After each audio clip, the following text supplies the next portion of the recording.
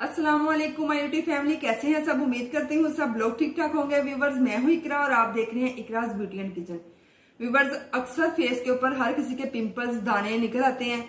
जो दाने और पिंपल्स जब खत्म होते हैं तो उन वो निशानात छोड़ जाते हैं। ठीक है? इनको खत्म करने के लिए निशानात जो हमारे फेस के ऊपर पड़ जाते हैं, उनको खत्म करने के लिए मैं आज आप लोगों के साथ बहुत ही इफ़ेक्टिव रेमेडी लेके आई हूँ।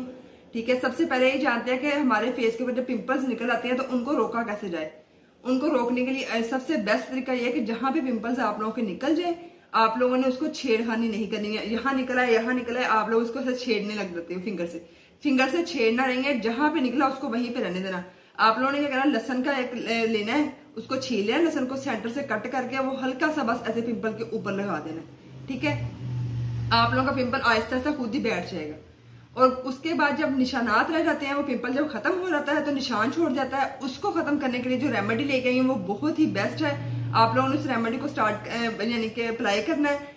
और अप्लाई करने से पहले आप लोगों ने अपने हैंड के ऊपर पैर टेस्ट कर लेना है ताकि कोई साइड इफ़ेक्ट तो नहीं आप लोगों को फील हो रहा। अगर साइड इफ़ेक्ट है तो आप लोगों ने वो रेमेडी नहीं अप्लाई करनी। अगर आप लोगों को साइड इफ़ेक्ट ना लगे, यानी कि सूटेबल है तो फिर आप लोगों ने इस रेमेडी को अप्लाई करना है।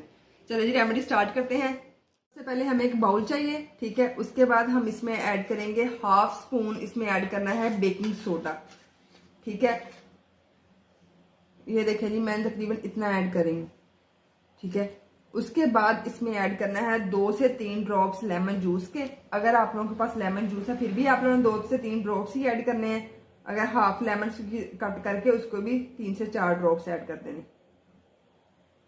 ये देखिए।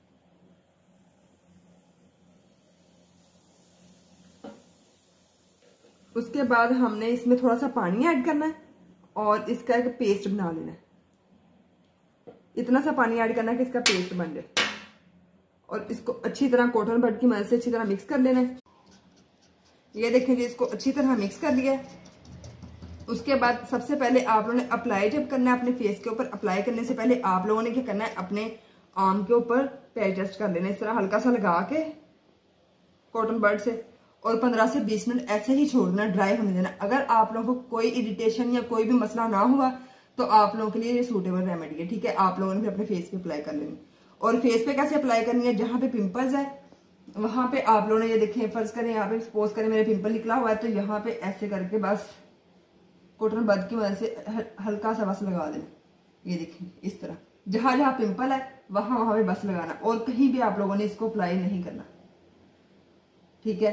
आप लोग इसको तकरीबन एक हफ़्ता यूज़ करेंगे, इस तरह लगा के, उसके बाद आप लोगों ने इसको छोड़ देना। जब ड्राई हो जाए ड्राई होने के बाद फिर आप लोगों ने इसको इस तरह सर्कुलर मशीन में रब करके फिर उतारना है। ड्राई ये देखिए जी, ये मैं ड्राई हो चुकी है। अब आप लोगों ने करना है फिंगर की मदद से इसको सर्कुलर मशीन में मसाज करना है।